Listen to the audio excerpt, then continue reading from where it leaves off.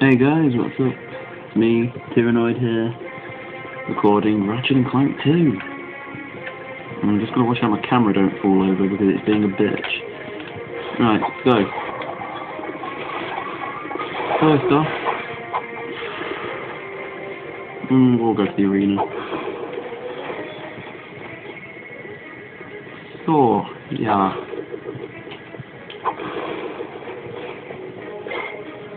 Also guys, I've completed Jak 2 now finally, so maybe an LP of that in future.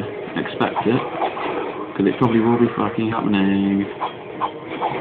I've got to get used to this because I'm just used to standing there like a prat and shooting. Because I've been playing Jak 2. Yeah, overall that game made me rage a lot, but I did like it. Really fun. And really annoying. But yeah. Right. So I'm to get quite a lot done today, guys, I didn't record on Thursday when I normally do. So, you know, I can afford to get quite a bit done today. I'm hoping. I at least want to get to the space level. Don't know whether I'll be able to. Don't know whether I'll have enough room, but I'm hoping.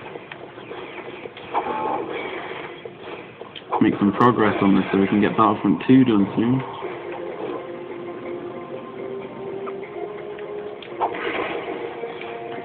Right, don't know why the taxi took us down here.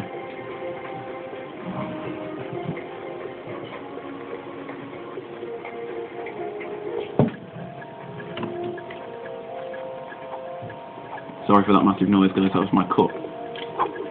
Since I'm drinking. Right, I want to get this upgraded. It actually upgrades quite fast on this level. Doing both ways, that is. The early weapons only normally take one level.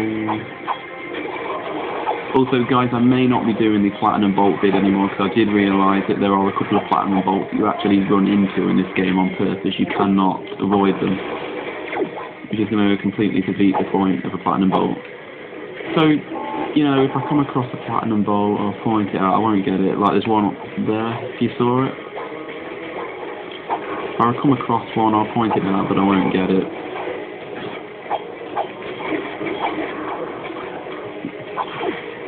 Right. Infinite spawning enemies. Trick that Jak and Daxter fucking made. I'm playing through it again actually now guys as I'm on the dock mission. In the water slum. Ah, damn it, I hate that mission. To aim weapons more accurately, press and hold L1. Also, I've completed Jak and Daxter 100%. so I'm kind of doing a run through the series because a lot of you may know now that Jak and Daxter has got a HD collection coming out in February which I'm very excited for. I cannot wait to play that game again on well in HD. But I have played um, the Jak 1, Jak 2, Jak 3, and I've played Jak 2 as well, but I've not played Jak X The Lost Frontier. I wouldn't mind playing The Lost Frontier, but Jak X can go fuck itself, because if there's one thing I do hate in the Jak and Daxter games, it's the racing part. They were doing a bit better in 3, but they were still really annoying. And I don't think I've got the patience for them. And that was probably the worst accent of whatever the accent was. Right. So, we're at the arenas, which was a really nice thing that Insomniac Games added into these games.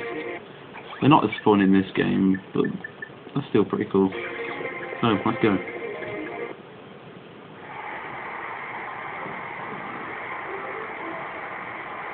Is everyone ready for tonight's Mega Battle? Introducing from nowhere in particular, this guy. If he can make it past all of our gladiators, he'll take on this brand new electrolyzer. Sweet.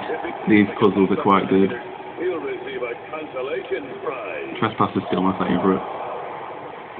let the game begin.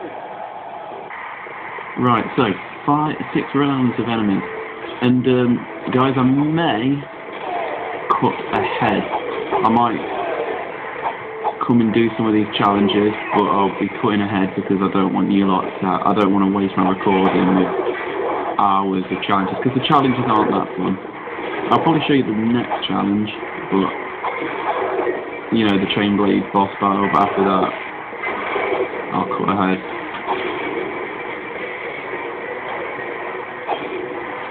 This is really hard about the blitz cannon. Bearing in mind I'm pretty much a noob at Ratchet and Clank at the moment. I'll get it back quickly, but I've not played a Ratchet game in a while. Ratchet's been one week.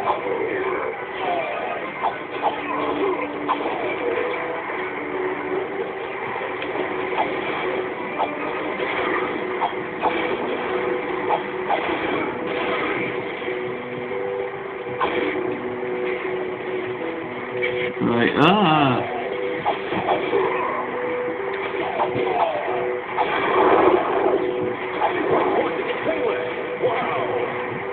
This commentator does some really weird stuff. The first and, uh, well, only winner of the Gladiator Games, this guy.